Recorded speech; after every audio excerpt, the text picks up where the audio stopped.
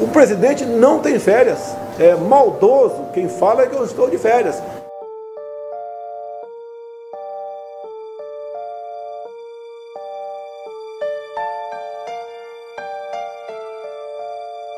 Então fizemos coisas fantásticas ao longo desses dias que dificilmente outro governo estaria fazendo.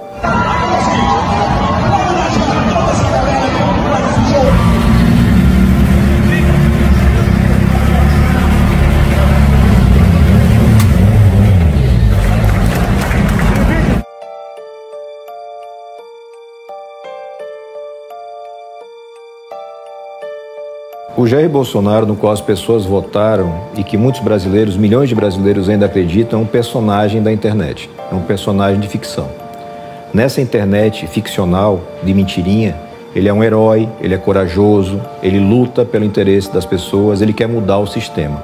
Na vida real, e toda hora você tem esse choque entre a vida real e a fantasia, na vida real, Bolsonaro é um político velho, é um político que não trabalha, deve ser seguramente o presidente da República que menos trabalhou na nossa história. Ele dedica o tempo dele a fazer confusão na internet, fazer passeios de moto e pré-campanha eleitoral para 22. Ele faz isso desde o primeiro mês. Eu tenho que viver também. Não vou deixar de andar de jet ski, dar um cavalo de pau no carro, como eu dei lá no Beto Carreiro, de vez em quando montar cavalo por aí.